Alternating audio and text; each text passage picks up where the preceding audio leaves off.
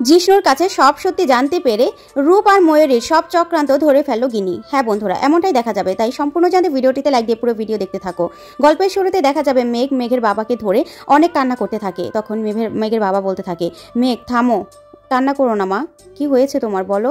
তুমি কান্না করো না। তখন মেঘ বলে, বাপি, সবাই, দুনিয়ার সবাই আমাকে ভুল বুঝলেও আমার কষ্ট লাগতো না। কিন্তু তুমি আমাকে কি করে ভুল বুঝলে, বাপি? তুমি সবার মতো কি করে আমাকে এক মুহূর্তের জন্য হলেও ভুল বুঝলে? সেটার জন্যই আমার এত কষ্ট হচ্ছে, বাপি। তখন মেঘের বাপি বলতে থাকে, না রে মা, তোকে আমি ভুল বুঝিনি। বিশ্বাস কর, তোকে আমি ভুল বুঝিনি। তুই আমার কথা শোন, একটুখানি তুই আমার কথা শোন। তখন মেঘ বলে, বাপি, তুমি আমাকে যখন বলেছিলে যে তুমি কি কি করেছ সেটা ভেবেই আমার অনেক ভয় লাগছে, মেঘ। তখনই আমি ভয় পেয়ে গিয়েছিলাম, বাপি। তুমি আমাকে অবিশ্বাস করেছ। সেটা আমি কিছুতেই মানতে পারছি না, বাপি। আমার এক মুহূর্তে মনে হয়েছিল নিজেকে শেষ করে দেই। তুমি জানো দুনিয়া সবাই আমাকে অবিশ্বাস করলেও তুমি যদি আমাকে বিশ্বাস করতে, তাহলে আমার কিছুই যায় আসতো না। কিন্তু যে মেয়েকে তুমি ছোটবেলা থেকে এত ভালোবাসা দিয়ে এত ভরসা করেছ, তাকে তুমি কি করে ভুল বুঝলে, বাপি? তখন মেঘের বাপি বলে, মা, আমার ভুল হয়ে গেছে, তুই আমাকে ক্ষমা করে দে। আমি তোকে ভুল বুঝতে চাইনি, কিন্তু যে অবস্থায় তোকে আমি গিয়ে দেখেছি, আমি তো ভয় পেয়ে গিয়েছিলাম। তুই বিশ্বাস কর কিন্তু আমি পরিস্থিতির সামনে নিজেকে সামনে রাখতে পারিনি। ওখানে অনেক রিপোর্টাররাও পৌঁছে গিয়েছিল, আর যে অবস্থায় তোকে আর জিষ্ণুকে দেখা গেছে, সেখানে আমি কি করে সব কিছু নিজেকে সামাল দিই? বলতো, আমি পরিস্থিতি কীভাবে সামাল দেব? তখন মেঘ বলে, বাপি, তুমি আমাকে কি করে বলব যে, তুমি কি করে ভাবলে যে তোমার মেঘ এরকমটা করতে পারে? তুমি কি করে ভাবলে বাপি? তখন ওর বাবা অনেক আপসেট হয়ে পড়ে, আর মেঘকে বলতে থাকে, মা, এবারের মতো তুই আমাকে ক্ষমা করে দে। তোর বাবা তো বুড়ো হয়ে গেছে, তাই না? তারপরেই কান ধরে অনেকভাবে মেঘকে মানানোর চেষ্টা করে মেঘের বাবা। তারপরে আরও অনেক কথা বলতে থাকে মেঘের বাবা। তারপরে একসময় মেঘকে মানিয়ে নেয় আর মেঘ ওর বাপিকে ক্ষমা করে দেয়। আর অন্যদিকে দেখা যাবে জিষ্ণু আর গিনি কথা বলছিল। তখন গিন্নি বলতে থাকে, আসলে মেঘের তো শত্রুর অভাব নেই। আমাকে বাঁচাতে গিয়ে আপনারা দুজন খুব বড় একটা শত্রু বানিয়ে নিয়েছেন। সেটা হলো রূপসান্নাল। আর রূপসান্নাল পারে না, এমন কোনো কাজ নেই। আমি মনে করি যে এ সব কিছু করেছে রূপসান্নাল। ও পিছন থেকে কলকাটি নেড়েছে, তখন জিষ্ণু বলে, আমি অন্য একটা মনে করছি। সেটা হয়তো বা আপনার শুনতে ভালো লাগবে না। তখন গিনি বলে, দেখুন, কি ভালো লাগল, কি ভালো লাগবে না, সেটা কিন্তু এখন দেখার সময় নেই। আপনি কি ভাবছেন সেটা বলুন। তারপরে জিষ্ণু বলতে থাকে, হয়তোবা এটা আপনার ভাই, দাদা ভাই নীলই করিয়েছে, না হলে নীলকে যে ইনভাইট করেছে মেঘ, সেটা কিন্তু মেঘ আমাকে বলেনি। আমাকে একবার হলেও বলতো মেঘ। কিন্তু যেহেতু আপনার দাদাভাই এটা করেছে, তার মানে মেয়েকে আর আমাকে ছোট করার জন্য এই কাজটা করেছে, তখন গিনি বলে। দেখুন, মন ঘোরা কথা, কথায় কিছু হয় না। আর আমার দাদাভাই মেয়েকে পাগলের মতো ভালোবাসে, আর মেঘও পাগলের মতো ভালোবাসে দাদাভাইকে। তাই এসব কথা মাথায়ও আনবেন না। এসব কথা বললে কিছুই হবে না। আপনি আমাকে বলুন তো, আপনাদের ইনভাইট থেকে শুরু করে সব কিছু আমাকে বলুন। আপনাদেরকে কে ইনভাইট করেছিল? তখন জিষ্ণু বলতে থাকে, আসলে রায়চক থেকে তিনজন লোক এসেছিল। আগে মেয়েকে ওরা রাজি করেছিল। তারপরে আমাকে বলেছিল, মেঘ রাজি হওয়াতে আমি আর না করিনি।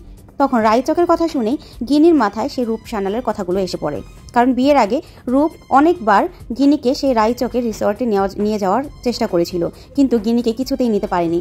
সেই কথাগুলোই গিনির মনে পড়ে যায়। তারপরে গিনি বলে ও মাই গড এত বড় একটা কথা আমি কি করে মিস করে গেলাম?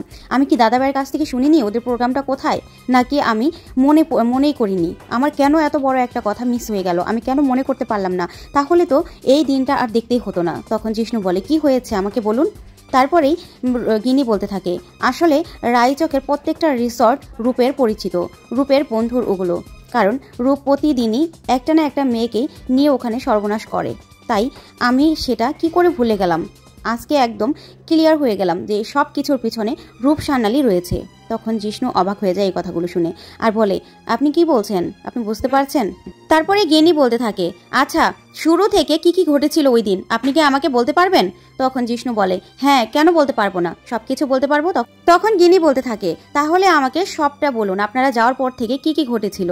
তারপরে জিষ্ণু ওর কাছে সবটা বলতে থাকে আর ওইদিকে মেঘ মেঘের বাবাকে ক্ষমা করে দিলে মেঘের বাবা খুশি হয়ে যায় আর বলে, নে মা, এবার ওষুধটা তুই খেয়ে নেই আমার মেঘমাকে আমি কখনো অবিশ্বাস করতে পারি? আমি জানি আমার মেঘমা কখনোই কোনো ভুল কাজ করতে পারে না। ঠিক তখনই সেখানে মধুবালা চলে আসে আর মধুবালাকে দেখে তো অবাক হয়ে যায় মেঘ। আর বলে, মা, তুমি এখানে দাঁড়িয়ে আছো? কখন এসেছ? তারপরেই মেঘের বাবা বলতে থাকে, ভিতরে এসো, তুমি ওইখানে দাঁড়িয়ে আছো কেন? তারপরে উনি ভিতরে এসে বসলি মেঘ মেঘকে বলতে থাকে, তোমার শরীরটা এখন কেমন? তারপর মেঘ বলে, মা, ঠিক আছে, এখন আমি। তারপর মধুবালা বলে, ঠিক করে খেতে হবে তো, না হলে তাদের সুস্থ হবে কীভাবে? আমি তোমার জন্য স্যুপ বানিয়ে আনি।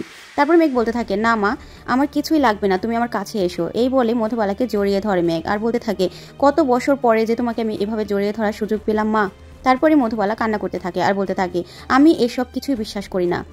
আমার মেঘ আমাদেরকে অসম্মান করতে পারে, আমাদের অসম্মান হতে পারে, এরকম কোনো কাজ কোনোদিনও করতেই পারে না। আমি কোনোদিনও এসব কিছু বিশ্বাস করি না, নিশ্চয়ই কোনো চক্রান্ত রয়েছে। তারপরেই তো মেঘ কান্না করতে থাকে। আর অন্যদিকে দেখা যাবে, লাল নীলকে বোঝাতে থাকে যে দাদা ভাই তুই এরকম একটা কাজ কি করে করলি?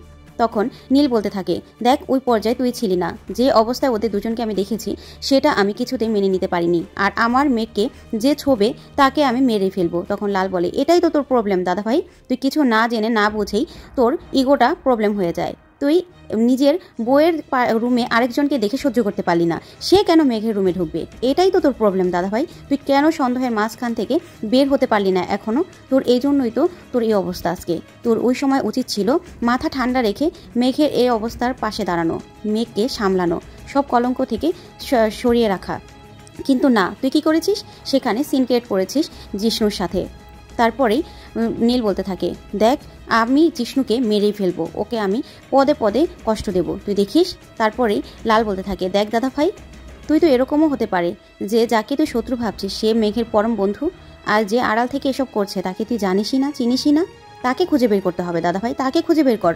তারপরে নীল চুপ করে থাকে, আর সব কথাগুলো ভাবতে থাকে। ওই দিকে গিনি জিষ্ণুর মুখে সব কিছু শুনতে পায়। শুনে গিনি বলে হ্যাঁ একই প্ল্যান এই সব কিছু রূপের বানানো প্ল্যান ঠান্ডা মাথার খেলোয়াড় হলো রূপ, সেটা আমি একদম বুঝতে পারছি। তার মানে ওই ওয়েলকাম ড্রিঙ্কসে কিছু একটা ছিল। তারপরেই জিষ্ণু বলতে থাকে, আসলে ওই ড্রিঙ্কসগুলো খাওয়ার পর থেকে ম্যাক যেন একটু অস্বাভাবিক কথাবার্তা বলছিল। তারপরে ওর মাথাটা ঘুরছিল, বলছিল। কিন্তু আমি অতটা বুঝতে পারিনি। তারপরে যখন ও রুমে গেল, তারপর ওকে আমি বারবার করে কল দিয়েছিলাম। ওর কথাগুলো আমার যেন মনে পড়ছিল বারবার করে। কিন্তু ফোন না ধরায় আমি আরও বেশি ঘাবড়ে গিয়েছিলাম। তারপরেই ওর রুমে চলে যাই আমি।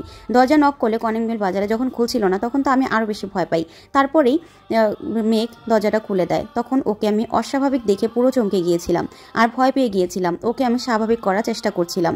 আর ও হ্যাঁ একটা কথা, আমার তো মাথা থেকে বেরিয়ে গিয়েছিল। ওর রুমে যেই গ্লাসটা ছিল, সেটাতে আমি গন্ধ পেয়েছিলাম। একটা স্বচ্ছ একটা একটা ড্রিঙ্কসের গ্লাস ছিল ওটা। ওটাতে কেমন যেন একটা গন্ধ ছিল। ওইটাতেই কিছু ছিল হয়তোবা, তখন গিনি বলে। আমি শিওর যে এটা রূপেরই কাজ।